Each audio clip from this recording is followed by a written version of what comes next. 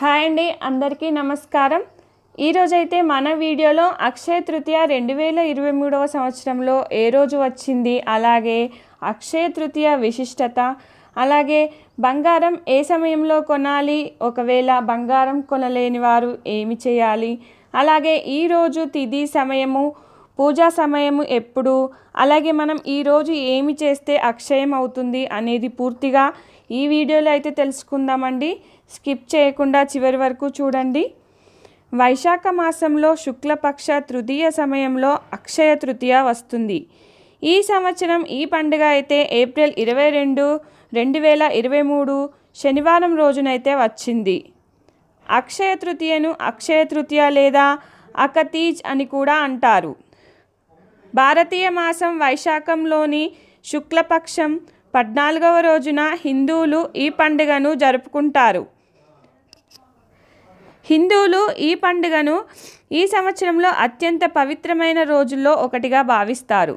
సంస్కృతంలో అక్షయ అంటే శాశ్వతమైన అంతులేని ఆనందం విజయం మరియు ఆనందం మరియు తృతీయ అంటే మూడవది.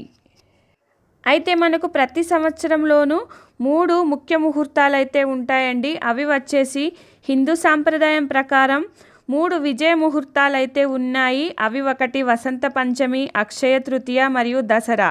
అంటే ఈ మూడు రోజులలో మనము ఏ సమయంలోనైనా మంచి పనులు ప్రారంభించవచ్చు. అలాగే ఆస్తి ఆస్తులు బంగారం వెండి విలువైన వస్తువులు కొనుగోలు చేయవచ్చు. అలాగే దాన ధర్మాలు కూడా చేస్తే ఈ రోజుల్లో చాలా చాలా మంచిది అండి. అలాగే అక్షయ తృతీయ తిథి ప్రభావం ఏ యుగంలోనూ తగ్గదని చెబుతారు. కాబట్టి ఈ రోజున ఏ శుభకార్యాలు చేసినా ఫలితం శాశ్వతంగా ఉంటుంది. అంతేకాకుండా అక్షయ తృతీయ రోజున జపం యజ్ఞం పితృతర్పణం మరియు దాతృత్వం వంటి అన్ని శుభకార్యాలకు శాశ్వతమైన పుణ్యాన్ని పొందుతారు. ఈరోజు బార్లీ ఓట్స్ గోధుమలు బియ్యం చిక్పీస్ మరియు ఇతర తృణధాన్యాలు దానం చేయడం వల్ల కూడా అద్భుతమైన ఫలితాలైతే ఉంటాయి.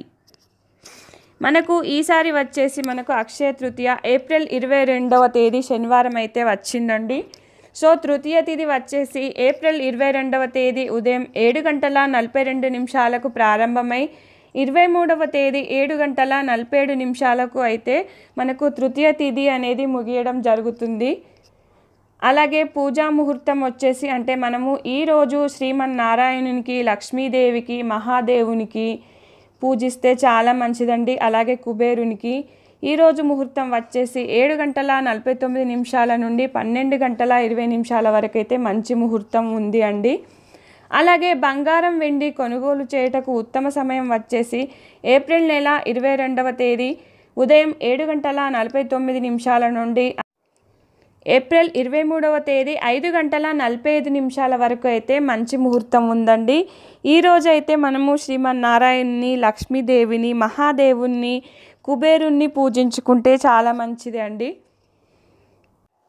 ఈ రోజునైతే దానత బంగారం కొనలేని వారు దాన ధర్మాలు అయితే చేయాలండి. బంగారం ఉన్న వాళ్ళైతే కొనుక్కుంటారు. లేని వాళ్ళైతే దాన ధర్మాలు చేస్తే చాలా మంచిదండి. అయితే ఈ అక్షయ తృతీయకి చాలా ప్రాముఖ్యత అయితే ఉందండి. విష్ణు యొక్క ఆరవ అవతారంగా పరిగణింపబడే భగవాన్ పరశురాముని పుట్టినరోజుగా ప్రజలు అక్షయ తృతీయను జరుపుకుంటారు. అలాగే త్రేతాయుగం అక్షయ తృతీయ నాడు ప్రారంభమైందని కూడా నమ్ముతారు. అక్షయ తృతీయ నాడు పవిత్ర గంగా నది భూమిపైకి దిగిందని భారతీయ సాంప్రదాయం చెబుతుంది. గొప్ప ఋషి వేదవ్యాసుడు ఈ రోజున మహాభారతాన్ని రచించడం ప్రారంభించాడు. అలాగే మహాభారతాన్ని గణేశుడు రచించాడు. ద్రౌపది చీర్ హరన్ అక్షయ తృతీయ రోజున జరిగింది. శ్రీకృష్ణుడు ఆమె దుస్తులను ఎప్పటికీ అంతం కాకుండా చేశాడు. శ్రీకృష్ణుని బాల్యమిత్రుడు సుధాముడు అక్షయ తృతీయ నాడు భగవంతునిచే విముక్తి పొందాడు. కుబేరుడు శివపురంలో అక్షయ తృతీయ నాడు శివుడిని ప్రార్థించాడు మరియు అతను కోల్పోయిన సంపద మరియు శ్రేయస్సును తిరిగి పొందాడు. అలాగే కుబేరుడు శివపురంలో అక్షయ తృతీయ నాడు శివుడిని ప్రార్థించాడు మరియు అతను కోల్పోయిన సంపద మరియు శ్రేయస్సును తిరిగి పొందాడు. ఒరిస్సా రాష్ట్రంలో ప్రజలు అక్షయ తృతీయ నాడు రథయాత్ర కోసం రథాన్ని సిద్ధం చేయడం ప్రారంభించారు. అక్షయ తృతీయ రోజున పాండవులకు శ్రీకృష్ణుడు అక్షయ పాత్ర అందించాడు. ఈ పాత్రలో ఆహారం ఎప్పుడూ ముగియలేదు. జైన మతంలో కూడా అక్షయ తృతీయకు చాలా ప్రాముఖ్యత ఉంది. ఇది పవిత్రమైన రోజు. ఎందుకంటే జైనులు తమ ఎనిమిది రోజుల ఉపవాసాన్ని ముగించారు. ఈ రోజున వర్షిత పరాణ అలా ఈ అక్షయ తృతీయకైతే ఇంత ప్రాముఖ్యత అయితే ఉంది ఫ్రెండ్స్. అయితే ఈరోజు ఏ పని ప్రారంభించినా కూడా విజయం చేకూరుతుంది. So thank you friends thank you for watching. ఈ వీడియో కనుక నచ్చితే లైక్ చేయండి షేర్ చేయండి.